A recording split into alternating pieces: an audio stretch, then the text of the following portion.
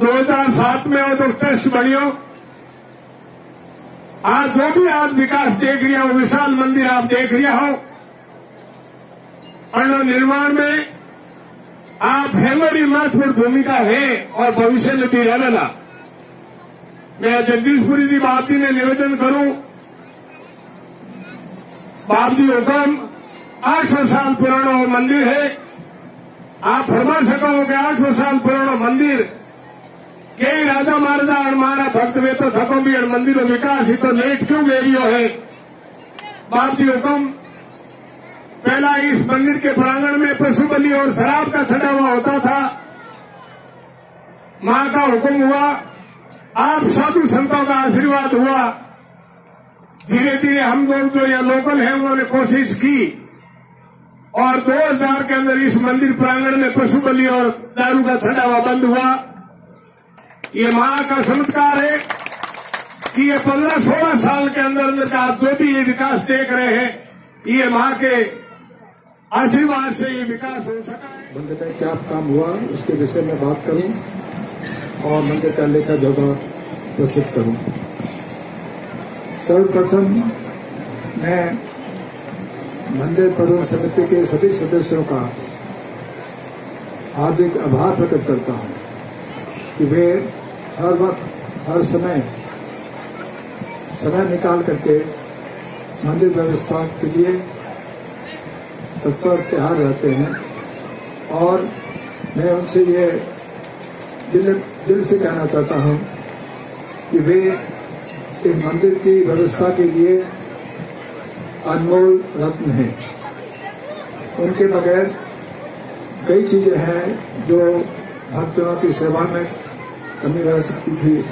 जो ये सभी आकर के अपनी सेवा देते हैं और मंदिर के डेवलपमेंट में पूरा पूरा सहयोग देते हैं। उनका हार्दिक आभार। आपने देखा है इस मंदिर में तकरीबन तकरीबन पूरा काम हो चुका है, जिसमें शिखर पूरा हो गया है, पाँच छोटे गुम्बज तैयार हो गए हैं। बड़ा गुम्बज अभी भी तैयार हो रहा है। अगले नवरात्रों तक पूरा हो जाएगा। सातों झरोखे लग चुके हैं। मूर्तियाँ उकेरने का काम करीब करीब पूरा हो गया है। लेकिन जो कुछ भी बाकी है, अगले नवरात्रों तक आसोज नवरात्रों तक पूरा हो जाएगा। और फर्श का काम अभी इस नवरात्रों के बाद में शुरू होगा, उसका ऑर्डर दिया जा चुका है। हवन कुंड के जगह खाली कर दी गई है। नक्शा तैयार है और अभी निर्माण शुरू होगा। अंदाजन उसमें खर्चा एक करोड़ रुपया लगेगा।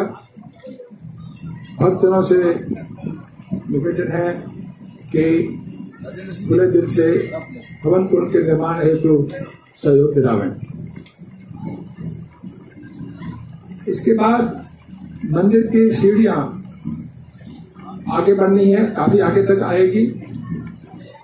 और इस हेतु जो अपना अभी ये कमरे हैं जिनमें ऑफिस वगैरह है अभी अभी पोल है जो पुराने पोल है इन सभी को अपने को यहाँ से સિંહાજી ને બાદ में और ख्याल तीसरी चौथी पीढ़ी हाँ राव आस्थान जी खेड़मा से पधारिया और उन्हें बाद में राव धूड़ जी अटे इन प्राचीन मूर्ति चक्रेश्वरी देवी भी इन्हें कहवे और यहाँ पे आज इन्होंने नागेची माता रे रूप में पूजित पूज, पूज, पूजन करा हाँ।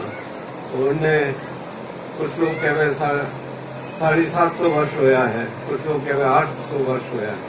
जो भी है एक बहुत प्राचीन काल है बहुत लंबो समय बीत गयो और इन्हें बाद में हमारो भाग्य कि यहाँ पे इन टाइम में जन्म लेन अठे आया और हमारे समय में जीवन काल में और इन भव्य मंदिरों निर्माण, महाराजा गज सिंह साहब जोधपुर मारवाड़ा धनी और महारानी साहब हिमलता कुमारी